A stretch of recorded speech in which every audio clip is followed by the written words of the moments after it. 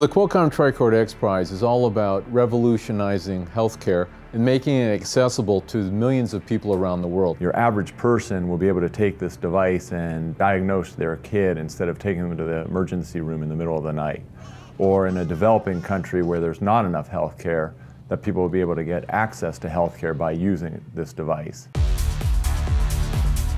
Taiwan has a universal healthcare. Uh, everyone is covered and the healthcare quality is really good. But because you had to lower the cost for the whole system, the system is not sustainable. That eventually will collapse.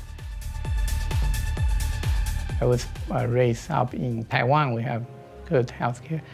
But just from the visit I went to, to China in the remote area, it's, it's really heartbreaking because in China, the estimate is close to 1 billion people who don't receive any medical care at all. Uh, major hospital in the big city like Beijing, Shanghai, you see people on the sick bed is in the hallway yeah, because there's too many patients there.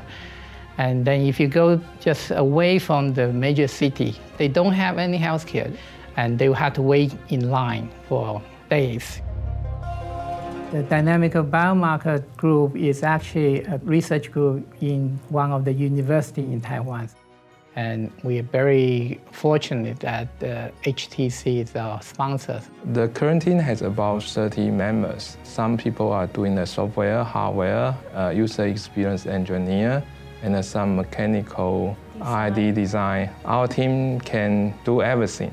We work together, we have fun together, and we just have dinner, even have a dinner together. So I think I really like the team.